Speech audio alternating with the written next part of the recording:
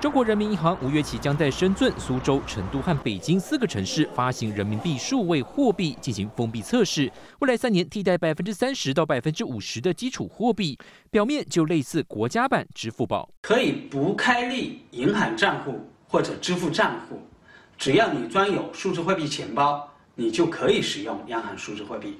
为什么引发争议？因为除了数位化纸钞、近距离支付功能之外，数位化人民币把一切交易轨迹掌握在当局手中。金融研训院院长黄崇哲指出，中共发展金融科技是以全面控制数据作为战略目标，与欧美国家着重个人隐私权保护和个人资料拥有并不相同。这一次如果施行成功，未来等于交易的资料是直接由国家来拥有，就是每一个人身上拥有的资产。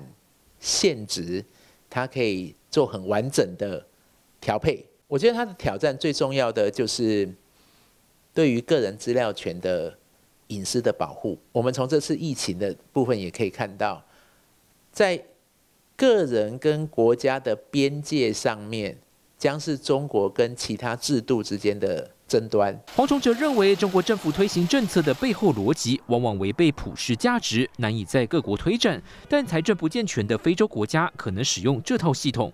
平面媒体进行分析，提出四大疑虑，认为中国大陆推行电子化人民币可能用于金融维稳，掠夺个人资产，所有交易遭到监控，并且阻绝资金外逃，压抑可能爆发的金融危机。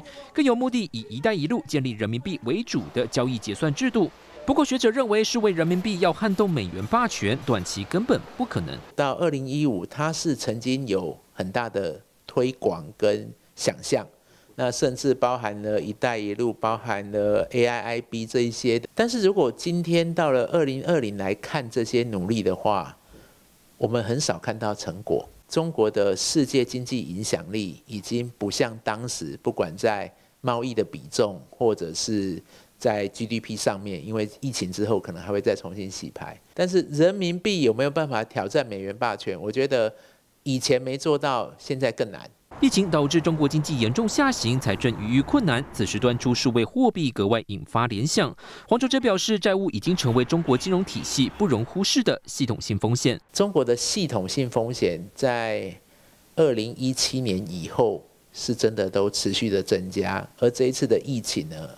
我觉得是到了更高的地方。那再加上目前全世界越来越多要求这个中共政权要对病毒这一块的起源或者演变来做一些负责或就职的争议的时候。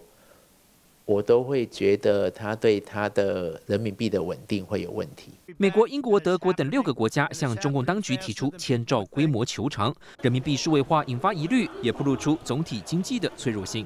新唐人电视高建伦、林玉堂、沈维彤，台湾台北报道。